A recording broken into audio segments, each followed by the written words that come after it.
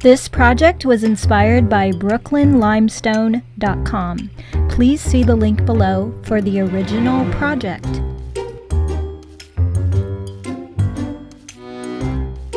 Can you see it? Here it is right here. It's this beautiful, delicious green color, and I named it Apothecary because it reminded me of old glass bottles. I'm gonna paint the top of the desk with this, and then the bottom part is gonna be, this is gonna be the gold part down at the bottom. It's just gonna look dipped in it, and can you see it? There it is. This is made for making stripes or different designs with your paint and it's specially formulated so that when you pull up the tape, it doesn't take the paint with it. So we're gonna try it out. We're gonna put the tape on it right now. So let's see if I have the camera adjusted. And we're gonna attach it to the bottom area down here. Hold on, let me get the camera. It's still recording? Ah! Oh, that's the UPS truck. So I'm gonna put mine right here you just want to make it nice and straight.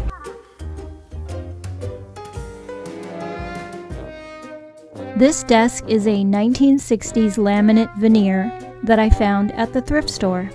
Normally you would need to prime it first because of the slick surface. DIY paint will adhere to most finishes, so I just painted right over the top of it. The gold patina is a sheer top coat, so I'm adding a layer of sandy blonde first in all the areas where I want it to be gold before I paint on the metallic. You can use whatever color you like, just keep in mind that some of that color will show through.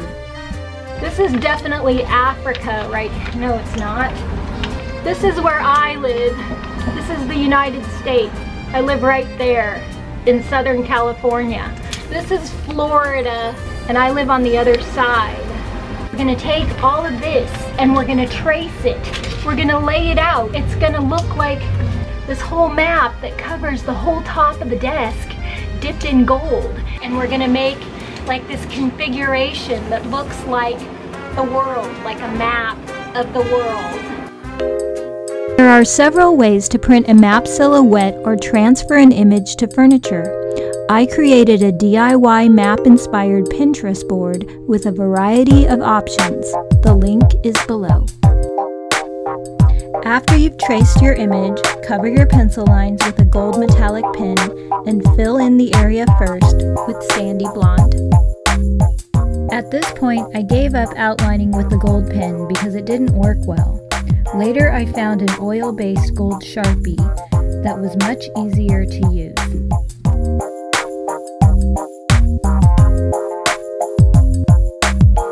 After your first coat of paint has dried, apply two coats of gold metallic patina with a detail brush.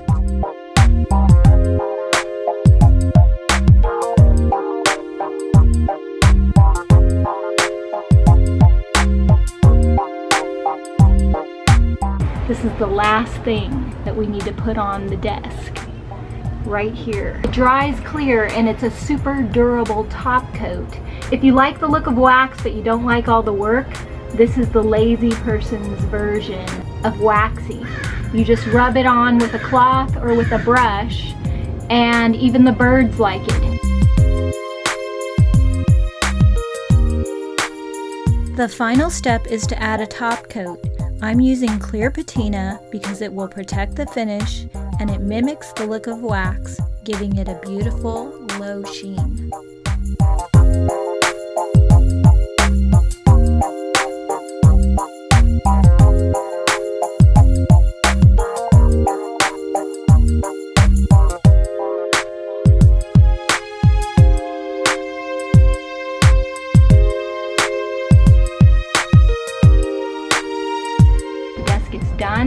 Think it turned out great. I'm really happy with the way that it looks. There are many ways to transfer map images onto furniture, so I created a Pinterest board with map DIY and all the different methods you can use. I post new DIY videos every Thursday, so subscribe if you haven't already, and let me know in the comments if you've ever done a map related project.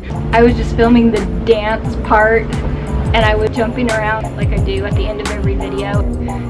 There are people walking on the sidewalk out there and I heard them go, what the heck? They were totally laughing at me. So I, I can't even imagine why they would think that that is weird. It's like the whole world on your desk. Click the link below to find a DIY paint retailer in your area or to shop online.